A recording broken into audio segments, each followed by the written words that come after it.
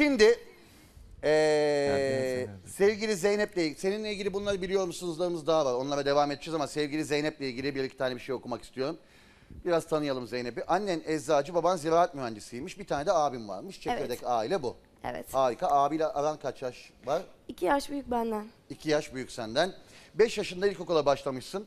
Kimseye göstermediğin bir defterin varmış. Öğretmen onu alıp bütün sınıfı okumuş. Hayır o öyle değil. Öğretmenin kimseye göstermediği sınıf defteri vardır ya herkes hakkında yorum yazar. Ben Evet. de dedim ki madem bizim hakkımızda yorum yazıyor ben onu bir güzel şeyden dolaptan alıp herkese okumuştum. O öyle.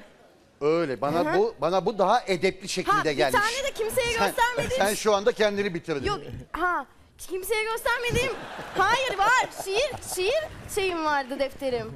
Şiirler Öyle mi? yazıyordum onu Yazıyor tabii. musun hala şiirler? Seviyor musun şiirler? Çok. Sen gerçekten böyle misin ya? Böyle mi abi set demetleri? Abi böyle ya. Vallahi. Vallahi. Ya Ne ben acayip böyleyim. bir karakter değil mi? Çok acayip bir şey. Bayıldım, bayıldım. Ya ben gerçekten müthiş böyleyim. Tatlı, müthiş doğal. Vallahi müthiş. billahi. Seni biz bu gece top trend yapacağız ya. Top Yapın. trend ne ya? Trend topik. Topik. Top trend neymiş ya? Trend topik. Top trend, trend topik. Hiç anlamam abi. Tek bildiğim kelime forward etmek işte onu biliyorum o kadar. Tanımadığın insanlarla bile yıllardır tanıyormuş gibi konuşuyormuşsun. Evet. Evet. İnsanların mutlu olması, gülmesi senin için çok önemliymiş. Çok. Sokaktayken insanlar gülsün diye rol yaparmışsın. Evet. Sokakta, bakkalda, her yerde. Sevecen yani. Seveceğim. Harika. Küçükken başına bir şey gelince gazetelere çıkacağını sanırmışsın. Evet, evet. Bütün gazeteleri saklıyordum. Rüyalar hayatının yarısını oluşturulmuş. Gördüğün rüyaları unutmamak için yazarmışsın. Bazen. Güzel rüya görür müsün? Çok fantastik. Vallahi.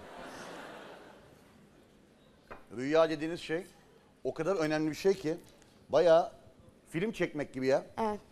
Bir kere bütün karakterleri sen yaratıyorsun. Bütün montajını sen yapıyorsun. Bütün seslendirmeyi sen yapıyorsun rüyada. Yani başı sonu bütün konu sana ait. İstediğin şekilde yönlendiriyorsun. Tarz değiştiriyor. Güzel rüya görmek vallahi önemli bir Harika şey yani. bir şey. Bayağı film çekmek gibi bir şey yani. Rüyada trend topik oluyorsun işte. Evet rüyada trend topik oluyorsun. Alt çizgi ergen. evet bakalım hadi bakalım. Karanlık korkunu yenmek için ışıkları kapatıp kendini korkuturmuşsun. Evet. Ee, çatıya çıkıp yoldan geçenlerin üzerine domates, salatalık, sebze, meyve atarmışsın. Evet. Her zaman atardım küçükken. Sen bayağı kız istemeye gelmiş gibi. Evet efendim gerçekten de öyle değil. Bu peki ee, metrobüs açıldığından beri metrobüs kullanıyor musun? Aynen öyle.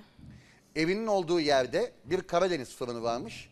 Bir gün fırındaki amca eee, Allah demek insanları çift yaratıyor. Sen de Recep İvedik'teki kıza ne kadar benziyorsun demiş. O da sen de demişsin ki o zaten benim demişsin. Amca da eee, İşte ben Allah de. nasıl da çift yaratıyor diye hayret etmeye devam evet etmiş. evet işte ben de öyle diyorum. Allah çift yaratıyor dedi. Teşekkür edip ekmeğimi alıp çıktım.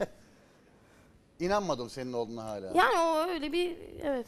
Çok dağınıkmışsın. Eee, bir akşam annen odana girmiş seni görememiş. Evet. Sabah arkadaşlarım aradı neredesin diye.